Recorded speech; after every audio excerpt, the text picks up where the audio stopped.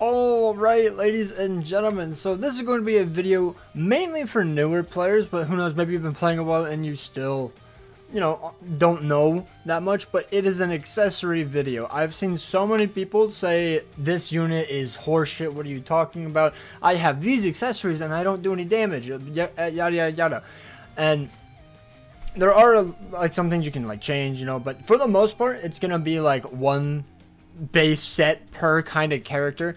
Um, but yeah, like the main amount of your damage is coming from your accessories. If you don't have good accessories on your characters, they're probably gonna feel terrible. I would say it would probably go accessories, your links, and then transcendence in terms of damage, unless you 5-5 them. You know, then then that's a pretty big bulk.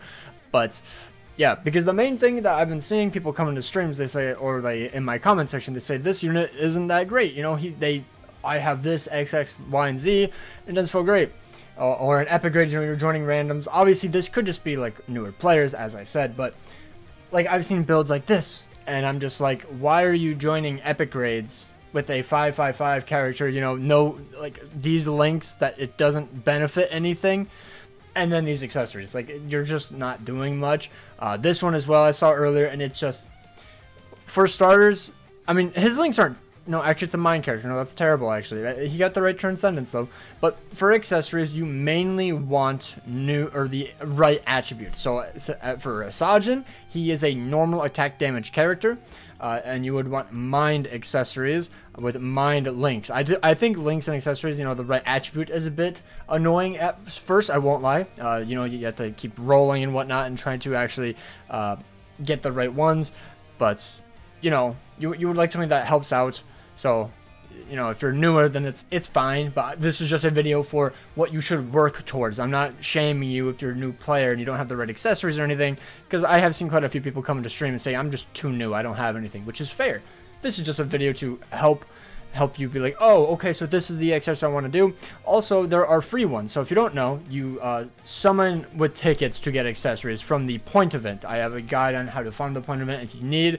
Uh, do not use orbs. Do not use orbs. I've done it and it was an absolute waste. You could go thousands of uh, orbs and not pull a single five star. You want to get them from tickets, okay? And you farm this through the point event. Uh, and then there are some uh, accessories that are just better. So uh, I'll, I'll just pop a 100 real quick. I still need a Power Yuki, which I'll probably never get. That's an insane pull for anyone else other than me. Either way, as you can see, this would be an accessory for a normal attack damage character. It reduces SP to 0, but increases all of your other stats max of 36%, which is a very, very, very good item in the game, mainly for NAD characters or like in GQ or Brave battles. Um, but if I go to my accessories, uh, for example, actually, let, let me actually just go to the character and show you uh, because some, maybe you don't know what a NAD character or an SP character is. A SP character or a strong attack damage character is one that relies on SP. So like their base SP will be higher than their attack. That's one sign. Uh, they'll have strong attack free charge or strong attack damage unless they're a super outdated character. Really old characters, this doesn't always apply. But for newer characters, they will have frenzy, stuff like that. Um, SP boost as well. Uh, usually they'll have Berserker, but sometimes they just don't. The KO just doesn't give it to them. Um, but yeah, a high SP boost. Uh, they have high base spiritual pressure, or they have strong attack damage and strong attack recharge on their kits. That's usually what defines an SP character, and then you would give them accessories according to what they need. So for accessories for an SP character, uh, you would go to here. Uh, Ichigo is a heart character, so you would sort by heart. And then if you have the accessories re-rolled, which I have a guide on that too, you would sort by SP. And as you can see, the text for this accessory right here is highlighted. You would simply equip that one. Let's keep on going because it increases your spiritual pressure by 50%. On top of it with an extra 30%, which is going to be a huge extra bulk your damage. Keep going, don't see it. And then this one right here. The fortification pill is one of the best accessories in the game used almost everywhere for an SP character. Uh, increases SP and focus plus 30% on top of an extra 30% from the reroll, so we'll equip that one. Um, and then there are other accessories as well, like human or like killer stickers are mainly in GQ. Uh, that way you get an extra bonus for killer, so that's also another very, very good accessory. The hunting cap is a very good option to replace. Let's say you don't have the golden accessory, which is what the T sets are considered. They're like base only five stars. Uh, you could swap that out for that. The hunting cap you can farm in a, a training ground accessories uh, and get that there. Uh, you know, Catacorn Alpha is another strong attack damage item, just like the Lieutenant's badge right here. This is usually what you will end up using uh, in most instances. There is another accessory that you can actually farm uh, and just or just buy uh, with uh, gold in the PvP shop. Uh, if you keep on going, I forget all of mine actually have attack because uh, I'm mainly only using them for my NAD characters. That is my bad, but it's called a Hollow Bait. And you can get this from rerolling for 4 stars and whatnot, but increases your attack and focus plus 30%. It's not bad, and then you would just give it 30% SP for a SP character. That's mainly what you would end up doing. And then, you know, there's like the niche ones, like let's say you need a hit in, uh, hidden enemies, you would use it like a Zeta pill, or maybe you want a nuke, so you would use like a tension tire or something, uh, which increases your soul bomb damage. But this is like the main gist of it. As for character links, I can just quickly go over what you would do.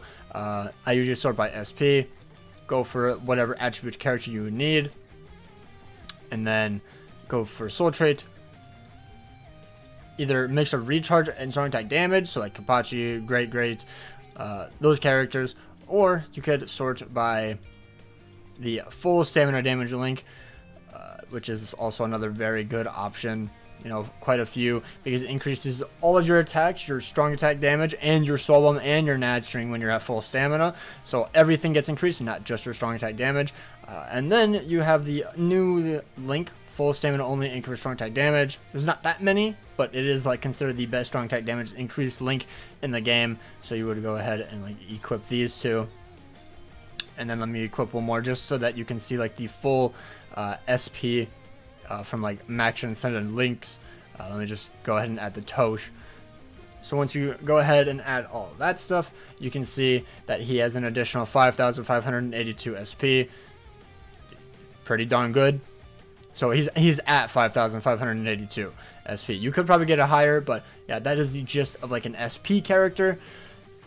Now, uh, I'll, I'll, show you where you can farm the Shinji cap because it is a pretty good accessory. If you go to power up quest, uh, you just go here and then it's like the Hiyori training ground or whatever it is called. Accessory training ground right here. You can farm. Uh, it doesn't show it on the picture, which I think is really stupid but it, is in here. It takes a bit of stamina, but you can get the very good uh, Brave Battle item and then the Shinji Hunting Cap.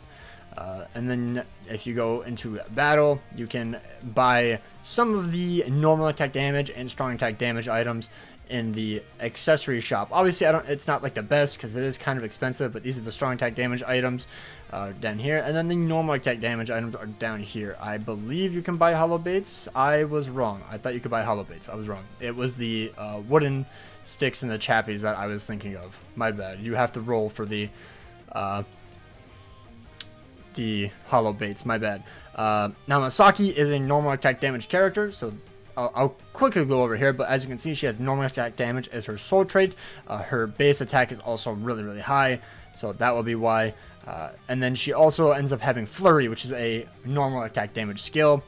Uh, and then that's really the only thing. And her Bruiser is also very high, or her normal attack damage. It's called Bruiser in the database. But yeah, so how you would equip her, uh, if you go to accessories, uh, you would simply just sort by attack because that's all she really goes by.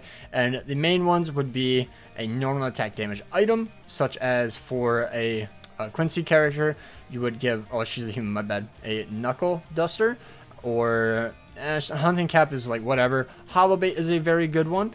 Uh, or the main ones that you would end up using would be a golden chappy dispenser and then the uh, regular chappy that this is what you would mainly use. There's not that many accessories for these characters, uh, especially because it's not tied down to affiliation for the chappies, which I think is a very, very good thing.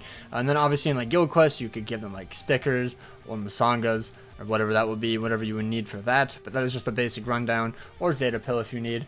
Uh, as for links, you would simply just go by, uh, I guess for Masaki, full stamina damage wouldn't be the worst because she does have an SA2 boost, but for the majority of normal attack damage characters, you would simply just go by normal attack damage and just sort by attack. And that way you get the most out of your attack.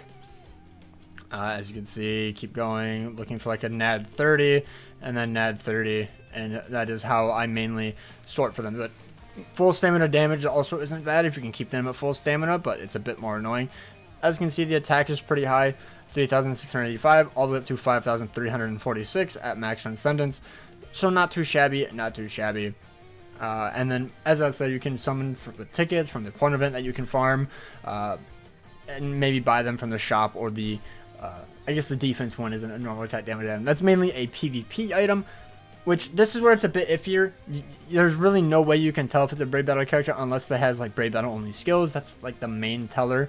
Um, but as you can see, Jugram is a pretty good example because he actually has skills meant for Brave Battles, so that makes it a bit easy. Um, and then you can tell he's a normal attack damage character because he has Flurry, so you would give him normal attack damage items. But in, in Brave Battles, I tend to find giving them defense is better uh, so, but it's kind of just up to you. I prefer defense. You can go full attack, but from what I've seen, I mainly end up giving them full defense. Uh, so if you just go to accessories and you sort by defense, this is what I usually end up giving them. Uh, Chappie, a regular Chappie, and then you can give them a guitar if you want them to be super tanky, or you can go full attack and go Chappie, double Chappie, the regular one, and then like a normal attack damage item if you so please. But this is what I mainly do. Sometimes I use the Shohonen Shield mainly for uh, Chad to dodge Orihime's attacks. Uh, and then you would, for, you know, for uh, this. For links, it's mainly always defense. And then I would give her uh, damage reduction. So that way they can just be super, super tanky. Uh, damage reduction. So you mainly want to go for the 20% because the percentages scale really, really high giving damage DR minus 20%. And yeah, that is how I mainly do it. Uh, if you guys have any you know, tips or anything to farm accessories and whatnot, leave it down below. This is just more so a quick little beginner guide for players who just don't know what accessories to use, etc., etc. Hopefully you guys enjoyed. I will try to reply to any comments that I see, but I've just been seeing a lot of people struggling. You know, like I, I imagine you're not having a good time using a build like this. Not saying everyone is just that newer players going in, not knowing what they're doing, and it's probably very aggravating to go in, you get kicked because you people have these accessories, and they don't know why. They're, they're, BBS doesn't really tell you what to do, and the tutorial is so outdated. Most people just end up skipping it I, I did the exact same. I skipped the tutorial. Like I, I would just spam skip on everything because it was just isn't that engaging. It's it's not very good at telling you, hey, use the same link attribute or same link attribute color, uh, accessory color, stuff like that. I really think each epic raid should tell you that you need to use the pet because this Byakuya one, people are thinking the game is broken with how annoying the epic raid is because you know people go in if you don't one shot it, you see that annoying mechanic and it kills your entire team. That's mainly where the spawned from. Uh, so yeah, hopefully you guys enjoyed. That's it for the video. Just a quick little thing. Hopefully you guys enjoyed. Take care and hope you guys have an absolutely amazing day. Peace out.